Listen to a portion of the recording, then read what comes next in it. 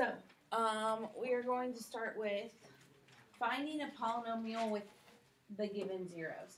So they're gonna say, hey, there's a polynomial that has a fourth degree. Here are the zeros. Tell me what that polynomial is. So you're going to have to do a lot of foiling. Okay. If I know that there's a fourth degree, there are, they only gave me three zeros. What's wrong with that? How many zeros should I have? Four. So anytime there's an imaginary number or a radical, you have to know that automatically there's the opposite of that as well as an answer. So when I set this up, I am going to take all of these and set them up into um, a system where I can FOIL. So I'm going to have x plus 1. I'm going to have x minus 1. I'm going to have x plus, uh, minus 3i. And then I have to take the opposite of that and say x plus 3i. Because I technically have four zeros. Then I'm going to FOIL all of those together to get my answer. So I'll start with foiling this easy one. And I'll do x squared. And then I'm going to skip foiling the middle part because they're going to cancel. x times negative 1 is negative x, and x times 1 is positive x. So they're going to cancel. I don't need to do that extra work. I can just FOIL the outside and say negative 1, x squared minus 1.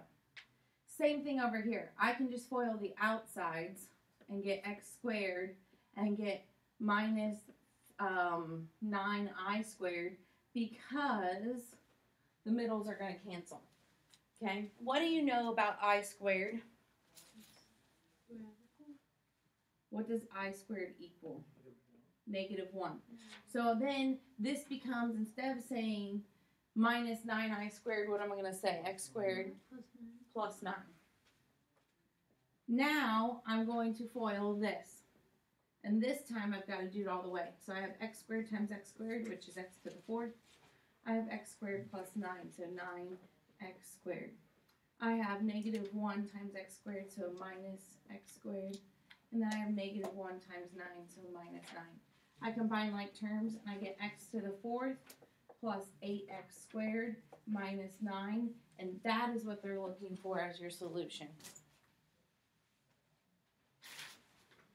Okay, that's how we are going to find the polynomial when they give us certain zeros. Um, we're going to do another one up here. It says cubic polynomial. Cubic means uh, what power is it? Three. Okay. And once again, they only gave me two zeros here. So what is my other zero that I'm missing? 1 minus i. So I'm going to set it up and I'm going to say x minus 2 then I'm going to come and put brackets. And I'm going to put the 1, I'm going to say x minus 1 plus i like this. And then I'm going to say x plus 1 minus i like this. I need to make sure that I put those in that order because um, it's going to be easier to factor that way.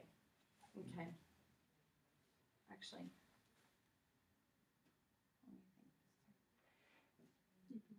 Yeah, this would be minus.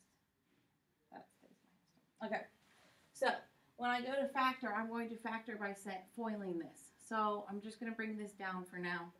And then I'm going to end up having x plus 1 squared. Okay? Once again, if I multiply this times this negative i, and I multiply this times that positive i, it's going to cancel. So I can skip that step and I can go ahead and say i times negative i, which is negative i squared. Okay, what do we know about negative i squared again? It's negative 1. So I now have this, x minus 2. I need to factor this out. I need to say x plus 1 times x plus 1 and factor that out. So x times x is x squared. x times 1 is 1x 1x, so I get two x's and plus 1, and then I have plus 1 here because I changed the, the i squared to negative 1, and it was already negative, so it becomes positive.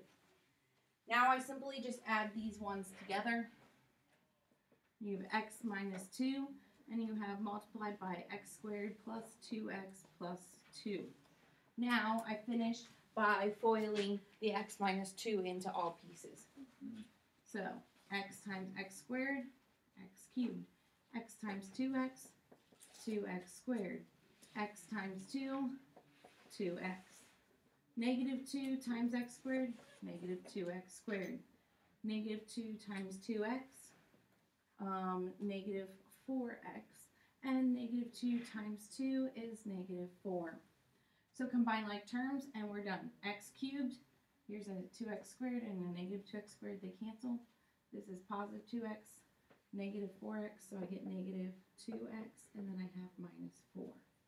And there's my function.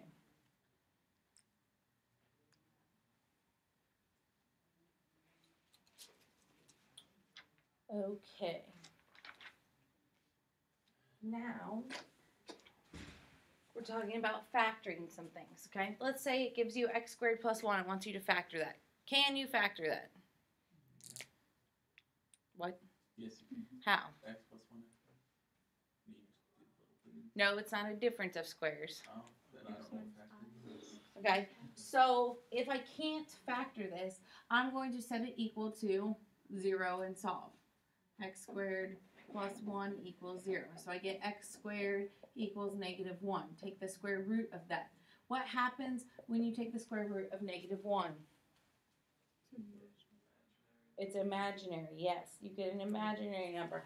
You get x equals plus or minus i.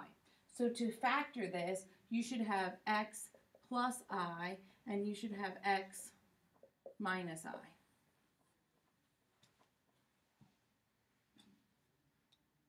Can you factor x to the fourth minus x squared minus 20? Think of 20. Does anything multiply to give you 20, add to give you negative 1? What? Uh, four negative five. 4, negative 5. So x squared minus 5 and x squared uh, plus 4, yes? Okay. So if I factor that to x squared minus 5, x squared plus 4, I'm not done yet. Okay? I can factor this out because I can say x squared um,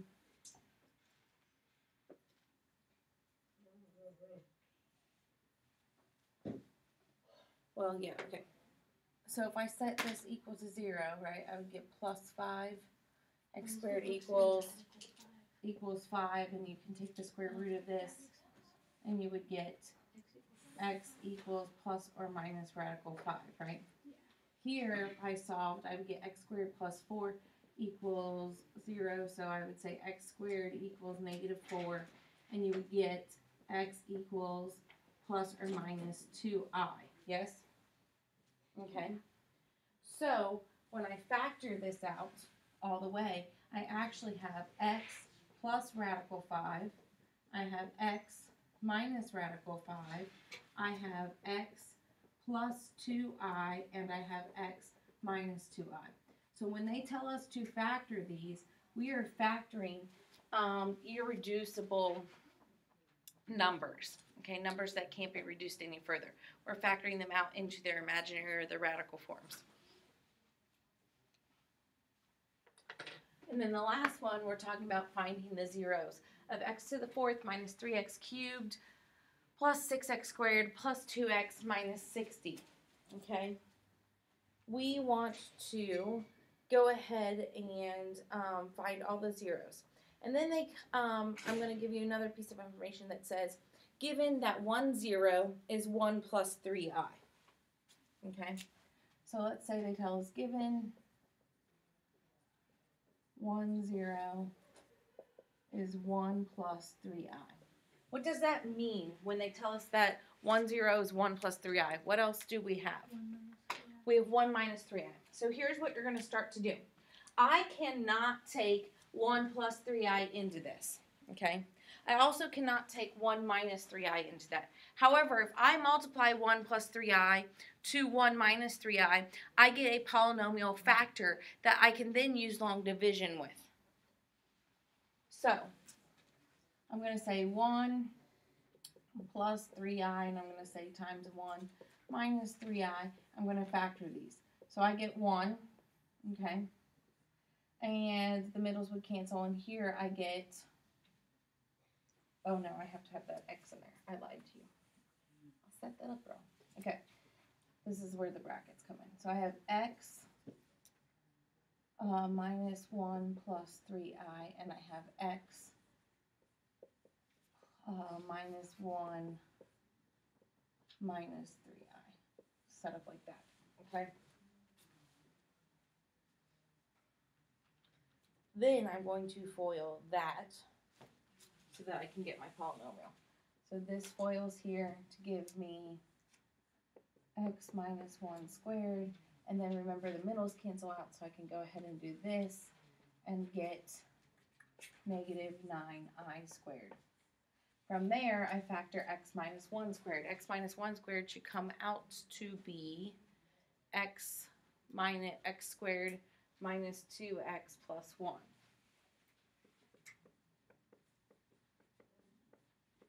And then you are going to go ahead and change that to a 9 because i squared is negative 1.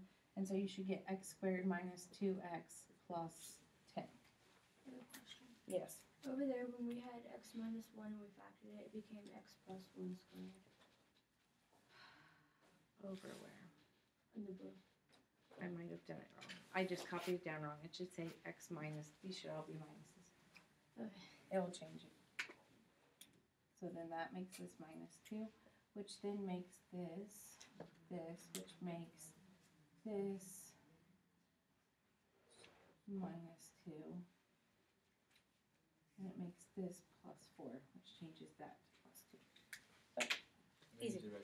Yes. Are we, are we done with the last? And eh, as soon as we finish this. Okay, so then you have x squared minus 2x plus 10. Now you have to take this and use long division on this. Okay, so I'm going to set it up because I know long division's your favorite. And we're going to say x to the fourth minus 3x cubed plus 6x squared plus 2x minus 60. And we're dividing it by x squared minus 2x plus 10. So, this is where you have to ask yourself, how do I get x squared to x to the fourth? What do you multiply by? How do you get x squared to x to the fourth? Multiply by x squared. So I'm going to multiply everything by x squared. So x squared times x squared is x to the fourth. x squared times negative 2x is negative 2x cubed. And x squared times 10 is 10x squared. Remember, we are subtracting everything. This cancels. This becomes negative 3x cubed minus negative 2x cubed, so you get negative x cubed. This is 6x squared minus 10x squared, so you get minus 4x squared. You bring down the 2x. Then you ask yourself, how do you get x squared to negative x cubed? X. How about negative x? Negative x. So, negative x. So, negative x times x squared is negative x cubed. Negative x times negative 2x is positive 2x squared. Negative x times 10 is negative 10x. Then, once again, we subtract these. These cancel. Negative 4x squared minus 2x squared gives me negative 6x squared. 2x minus negative 10x gives me a positive 10x, and I bring down the negative 60. How do you get x squared to negative 6x squared? Negative 6. Negative 6 times that is negative 6x squared. Negative 6 times negative 2x is positive 12x, yes? Mm-hmm. And then negative 6 times 10 is negative 60. When I subtract those, wait a second, this should say Yeah. 12. So when I subtract those, they all cancel, giving me 0. So I have a factor that says x squared minus 2x plus 10. And then I have this factor that says x squared minus x minus 6. Is this factorable? Can something multiply to give me 6 and add to give me negative 1? Yes, 3 and 2. So negative 3, positive 2, right?